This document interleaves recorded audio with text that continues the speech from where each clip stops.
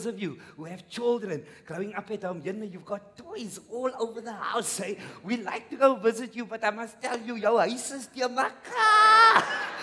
I love couples with young children. There's always old toys lying on the couch. You don't know where to sit. There's an old piece of Lego or writing with Cokie on the toilet wall. And somewhere in the house, there's always a fucked up Barbie doll. Hey, somewhere. Once upon a time, your daughter loved that doll, maar nou lê hy pop net daar met een oog. Sulke mango hare. Linkerbeen uit. Hy lying there like Zaza Gabor. So, but still, we love going to visit you.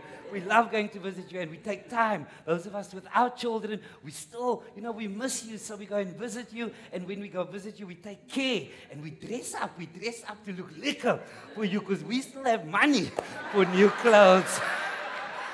Shame, I love looking at parents of children. They have that look of resignation about them. Eh? They just sit on that couch with an old tracksuit. Alles vir die fucking kinders, alles vir die kinders, met die as 'n jean gekoop het. So So we understand what you're going through. And that's why we go and visit you. And it's like your children know that they must take some kind of revenge out on us. Because when we walk in there with our liquor clothing, your lighties, they run up to us. They got cool drink stains around the mouth, old sweetie pie hands, and they come and they're like, Uncle Marc. And I'm like, yeah, my diesel.